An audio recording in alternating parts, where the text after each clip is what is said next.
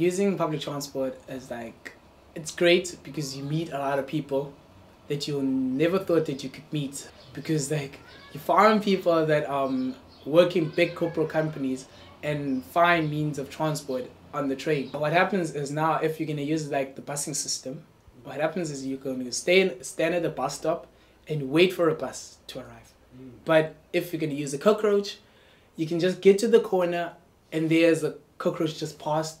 There like maybe four to three of them following each other.